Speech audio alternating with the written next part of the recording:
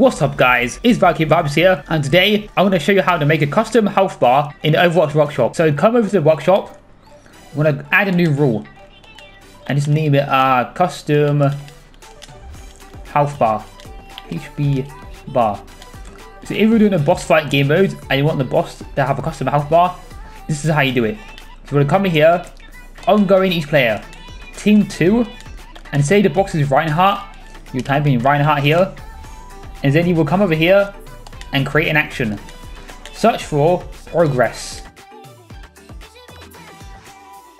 Press on create progress bar in world text. Visible to all players. Team 1. Value will be multiply, which is right here. Anyone they, they divide. So multiply, divide, and then afterwards, health,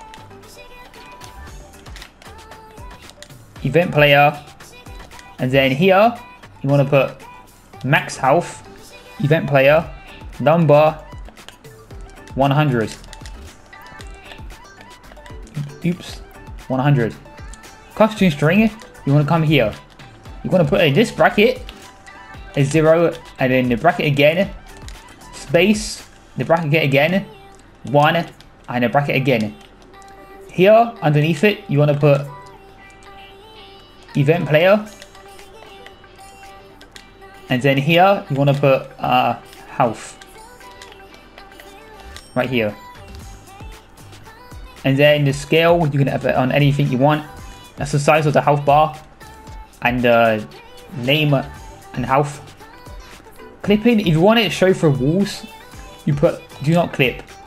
If not, then you do a clip against surfaces. As in color, I do a custom color, which will be green. So you put red on 0, green 255, and blue on 0. So that would be the health bar for green. And text color, I also do a custom color. Well, you don't have to actually, you can just go on text color and then put red. And then that's saying these are fine. Come over to create condition. Type in is alive and then and then type in has and press on has spawned. And that's how you do a custom health bar. To test out the custom health bar, add a rule.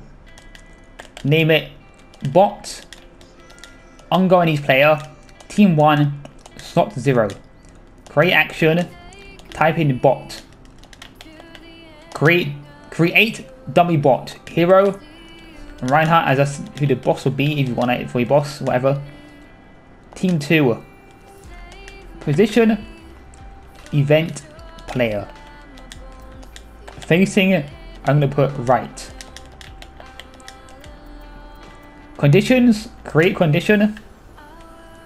Is button held? Interact. That's the button we'll use to spawn a button. And now I'll do another rule and call it bot 2.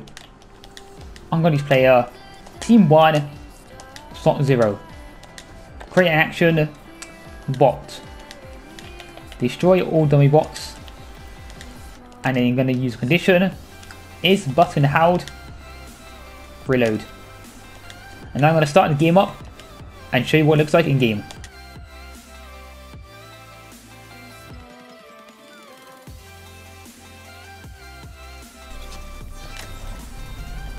Justice ain't gonna dispense itself. I'm gonna spawn a bot in. And as you see right here, the bot now has a custom health bar. It shows their name and then how much health they have. And now when I do damage, the health bar will go down. Just like that. And there you go. That's how you make a custom health bar in the Overwatch Workshop. It just helped you out. Leave a like, comment, and if you're new, subscribe. And yeah, that's it. Goodbye, everyone.